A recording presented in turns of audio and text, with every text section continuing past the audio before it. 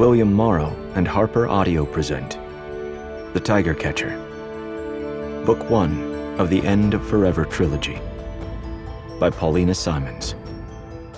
Performed by Jeremy Arthur.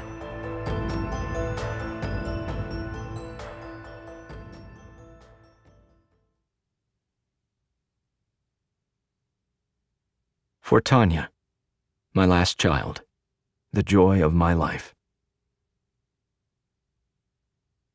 A safe fairy tale is not true to either world. J.R.R. Tolkien. Prologue The Transit Circle. I should have kissed you. Julian lay naked on his bed, clutching the red beret, staring at the ceiling. I should have kissed you the last time I saw you. After half a night passed like this, he gave up on sleep, jumped up, and began to get ready. He had a lot to do to be in Greenwich by noon. Don't dawdle, the cook told him. You have very little time. You have a picosecond inside of a minute. And don't get stuck. Where you're going, the opening is wide enough for one man, but not for all men. And what was Julian's wise response to this? How long is a picosecond? One trillionth of a second, the exasperated cook replied. Julian dressed in black layers. He shaved. He slicked back his unruly brown hair and tied it up so it didn't look like what it was a bushy mane on a man who long ago stopped giving a damn. Julian was square faced, square jawed, straight browed, granite chinned. Once. His hazel eyes looked gray today, huge, sunken into his gaunt cheeks. The dark bags under his eyes like somebody clocked him, the full mouth pale, he had lost so much weight, he had to punch a new notch in his belt. His jacket could have fit two Julians inside. It took him a while to get out. He kept forgetting this, that. At the last minute, he remembered to text his mother in Ashton. Nothing too alarming, like, I'm sorry. But still, he wanted to leave them with something. Jokes to make them think the old Julian wasn't too far away. To his mom, I used to feel like a guy trapped in a woman's body. Then I was born. To Ashton. You can't lose a homing pigeon, Ash. If your homing pigeon doesn't come back, what you've lost is a pigeon. But he did leave a separate note for Ashton on his dresser. As instructed, Julian left his cell phone at the flat, his wallet, his pens, his notebooks. He left his life behind, including the words he had written just yesterday called Tiger Claws. What do you ask of life at night, the world you can't change. Desire, drunkenness, rage flies by, while you lie flat on your back, under claws and lizards, in the purple fields. He brought four things a 50 pound note, an oyster fare card for the tube, the crystal on a rope around his neck, and the red beret in his pocket. At Boots at Liverpool Street, he bought a flashlight. The cook said he would need one. And then the trains were slow, like he was slow. Julian waited forever for a change at bank. At Island Gardens, he looked down into his hands. They had been clenched since Shadwell. Lately, he'd been staggering, foundering, drowning. Without time, his wandering life had filled up with nothing but watery impressions. His days were without architecture, without frame or matter. A muddle, a madness, a dream. But not any more. Now he had purpose lunatic, foolish purpose, but hey, he was grateful something was being offered to him instead of nothing. In Greenwich, the flat landscaped park below the Royal Observatory is lined with crisscrossing paths called lovers' walks. Deep inside the park, on top of a steep hill with a wild garden, for centuries the British astronomers have studied the skies. Today, on a blustery day in March, the garden was nothing but bare branches whipping about blocking the view of what Julian was climbing to the top of the mountain to find. He felt idiotic. Did he buy a ticket? Did he loiter until the appointed hour? The cook told him to find a telescope called the Transit Circle, but the observatory was home to so many. Where was this enchanted spot, where all impossible things became possible? Julian caught himself scoffing and felt ashamed. His mother taught him better than that, told him never to mock the thing you were about to fall on your knees in front of. Which way to the transit circle? Julian asked the cashier behind the table. The pretty girl smoothed out her hair. George Airy's Transit Circle? Right through there. I can take you, if you like. Will it be just one ticket for you? She smiled. Yes, he said. And no, that's fine, I'll find it. Do you sell pocket watches? Yes, in our gift shop. Do you need a compass too? Maybe a tour guide? She tilted her head. No, thank you. He wouldn't look up, wouldn't meet her gaze. With the girl hovering nearby, Julian bought a watch in an unopened box. She wanted to test it to make sure it worked, but he said no. He didn't want her touching it, imprinting his brand new timekeeper with her own spirit. You won't be able to return it if something's wrong with it, she said. That's all right, he said. I'm not coming back this way. Whatever happened, he wouldn't be coming back. That's a shame, she smiled. Where are you going? When he didn't answer, she shrugged. A friendly girl marking time. Look around, she said. Take your time. Julian had almost nothing left from his fifty. He hid the remaining pound coins in a souvenir vase along with his Oyster card. Was that wrong? To hedge his bets? No, he decided. Even people who sought out miracles were allowed to be cautious. That was him. A cautious man, seeking out a miracle. He had some time to kill, so he wandered around killing it. It was only 11 o'clock. He tried to remember all the things the cook told him, but there had been so many. At noon, the sun will pass through a pinhole in the glass crosshairs overhead, the cook said. A beam of light will strike the quartz in your hands. The blue chasm will open. You must hurry. The rest of your life awaits. It sounds difficult and complicated, Julian said. The cook stepped back from the grill and judged him up and down, the cleaver in his hands. You think this part is complicated? Do you have any idea what you're about to do? No. Julian had no idea. He knew what he had been doing. Lately, nothing. But way back when, he did things like mark time with his baby down the road from his Hollywood dreams. Sun beating down on palm trees and lovers, Volvos parked in secluded corners, windows open, joy flying in, like wind. Julian wasn't a skeptic then. Well, like he always said, there was a time for everything.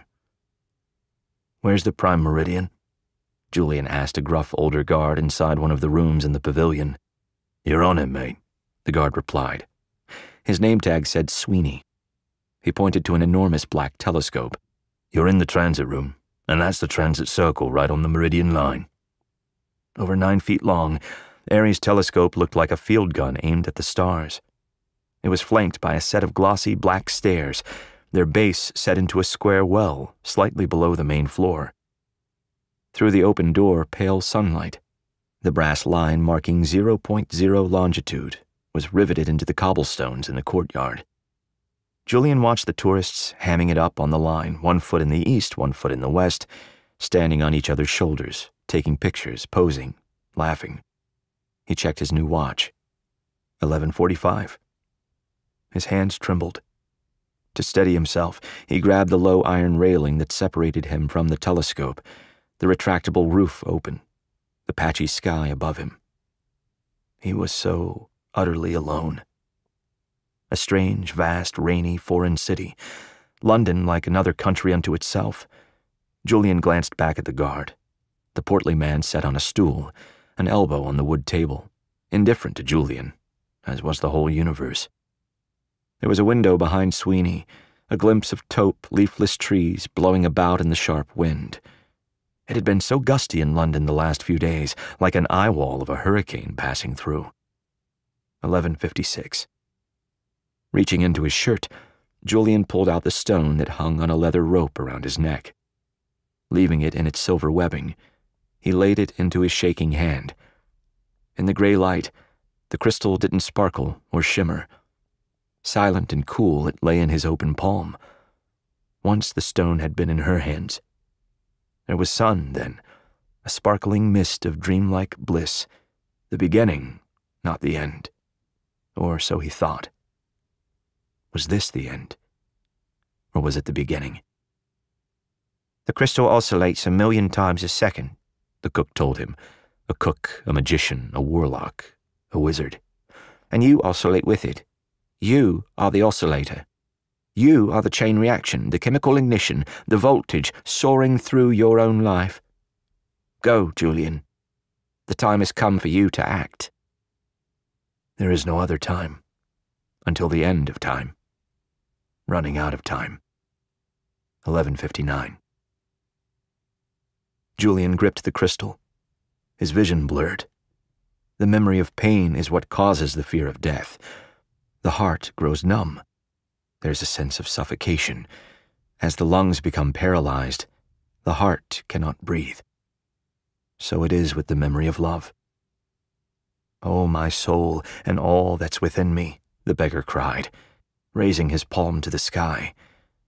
Ladies and gentlemen, it's showtime.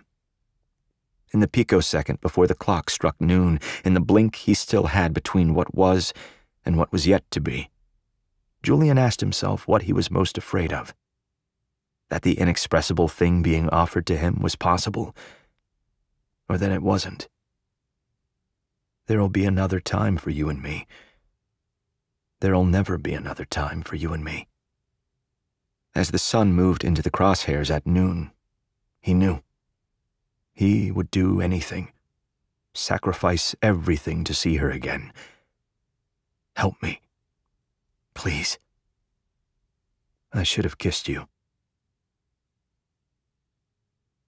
Part 1 The Ghost of God and Dreams. Like a ghost, she glimmers on to me, and all thy heart lies open unto me. Alfred Lord Tennyson. I love acting. It is so much more real than life. Oscar Wilde. From the desk of Mr. Know It All. Final issue, Volume 11, number 250. How to prepare for a disaster. Every day we fake it. We fake at everything at friendship, adulthood, love.